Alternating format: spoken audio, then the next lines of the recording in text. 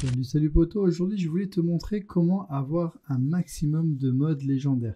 Donc, je sais pas si tu as vu la vidéo que j'ai tournée hier sur le fait que c'était un event. On avait des boss qui allaient euh, donner plus de légendaires. Et il y a notamment ce boss-là qui va te permettre d'avoir un maximum de légendaires. Donc, sur la carte, tu vois exactement où il se situe. Donc, bon, bah, tu reviendras en arrière. Hein, je te l'ai mis.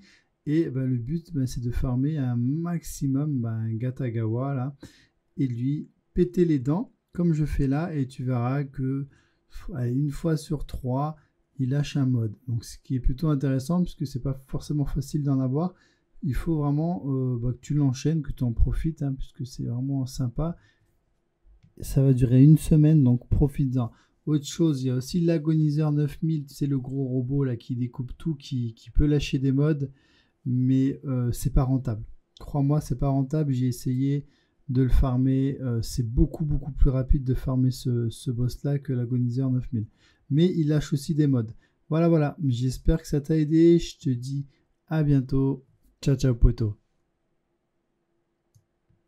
Si cette vidéo t'a plu, n'hésite pas à laisser un commentaire, partage, abonne-toi, coche la petite cloche à côté pour ne pas louper les prochaines vidéos.